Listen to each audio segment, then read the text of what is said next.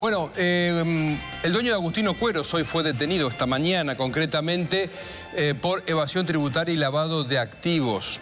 No solamente es el dueño de la casa que confecciona las prendas de vestir, sino también últimamente había abierto un negocio de diseño dedicado a la casa. Ahí está el momento en que en su edificio de Nueva Córdoba lo llevan detenido. Es por orden del fiscal federal Vidal Lascano. Dice que eh, la justicia libró nueve órdenes de allanamientos que las dispuso el juez federal Alejandro Sánchez Freites.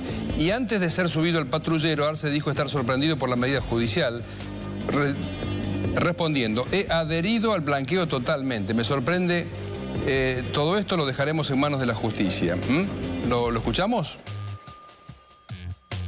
Me sorprende totalmente esto, sinceramente me sorprende totalmente. Pero usted ya había sido acusado en 2016. Nosotros fuimos, nosotros fuimos absueltos en 2016, no sé esto de qué se trata.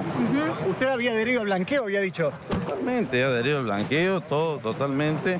Así que bueno, no sé, esto me sorprende totalmente, ¿no? Tenía... Dejaremos a mano de la justicia, a ver bueno, ¿Tenía muchos dólares en su edificio? No, poco. La verdad, lo de giro comercial.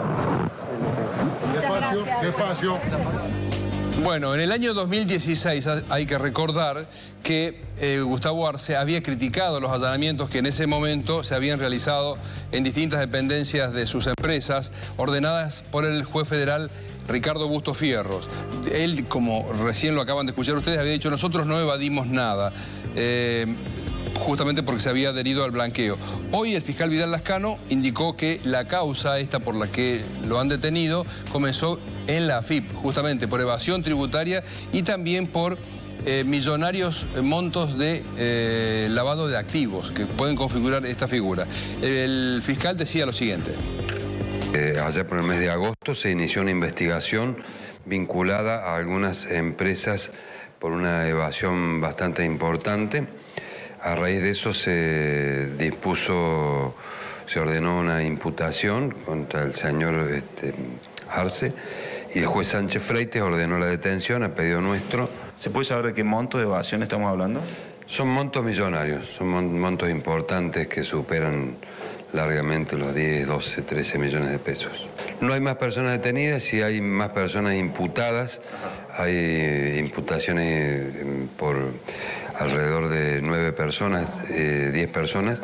Eh, bueno, ahora ¿Todos de la misma empresa? Todos están vinculados a este conglomerado de empresas que estaban vinculados a Arce.